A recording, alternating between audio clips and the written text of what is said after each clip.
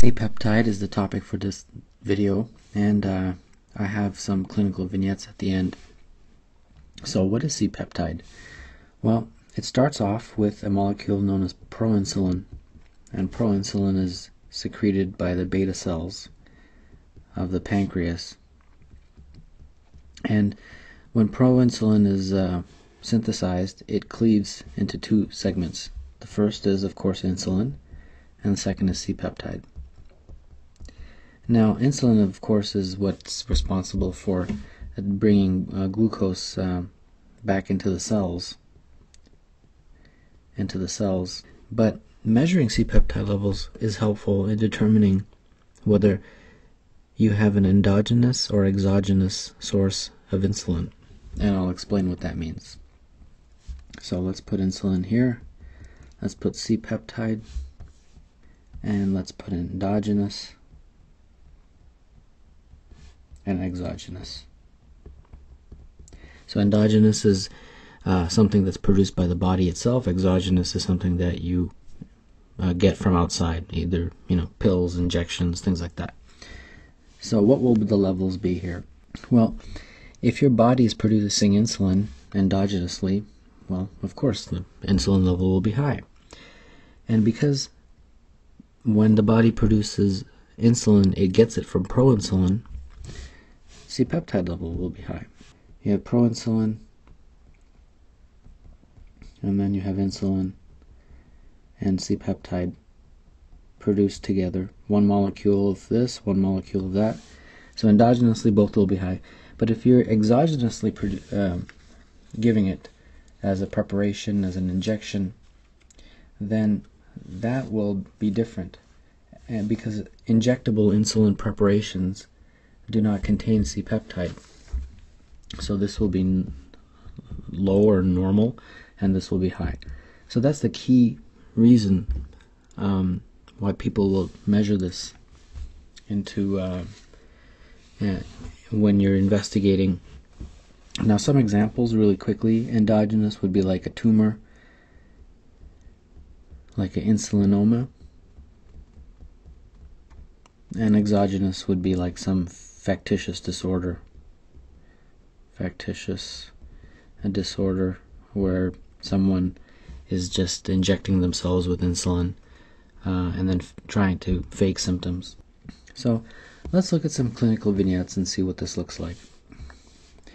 33 year old woman uh, comes to the emergency department with a 12 hour history of dizziness and palpitations. She tells you that she is lapsing into severe hypoglycemia because of an untreated insulinoma. She tells you that. She is an intensive care nurse at a hospital in a neighboring town, and she says that she goes to many different area hospitals. She tells you that she has been treated for hypoglycemia on three separate occasions at three different hospitals and is too frightened to undergo the surgery for the to remove the tumor. Her last food intake was 12 hours ago. Physical exam shows diaphoresis and pallor. Glucose level is 35. You give the patient glucose containing fluids, then try to obtain her previous medical records. You are unable to reach any of the other doctors that have treated her in the past. Next step is well, right off the bat, if you just took her word for it and said, well, she says that she has an insuloma, you'd probably do a CT, right? You'd want to investigate. But the problem is that this is a healthcare worker, and healthcare workers, not always, of course, but sometimes, they because they have a lot of availability to drugs and knowledge of uh, drugs, they can sometimes, small percentage of them, um, fake symptoms. And what's probably happening with this patient is she's probably injecting herself with insulin. So that is, of course, an exogenous uh, source of insulin. So her insulin levels will be very high, but her C-peptide level will most likely be low. So that's probably the next step uh, in this patient. Uh, next one. A patient reports of periodic bouts of lightheadedness and confusion. Blood tests show blood glucose is 45, so very low. Plasma insulin is found to be markedly elevated, but plasma C peptide is undetectable. Which of the following could explain these findings? Well, so this is obviously exogenous form of insulin um, administration. Her own body is not, uh, well, it doesn't say it's male or female. This patient's own body is not producing insulin because if that was the case, the C peptide level would be very high. So this is exogenous.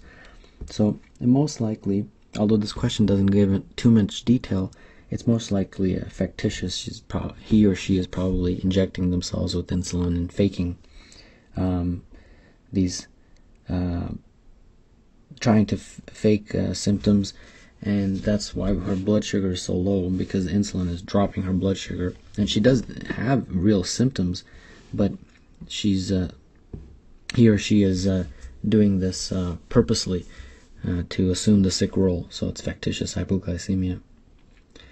And then finally, a 27 year old nurse comes to the emergency department because of nervousness, dizziness, palpitations, excessive perspiration, perspiration for three hours.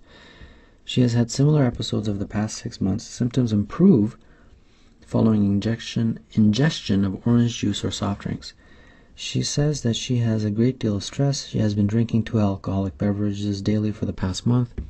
Before this time, she seldom drank alcohol. Examination shows no abnormalities. Serum glucose is 30.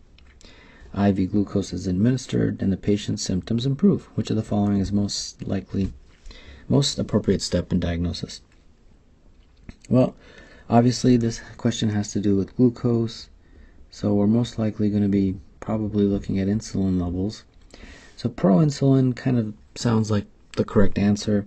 Insulin antibodies, perhaps. But in questions, always go for the most obvious, you know? Always go for the most obvious, uh, most likely.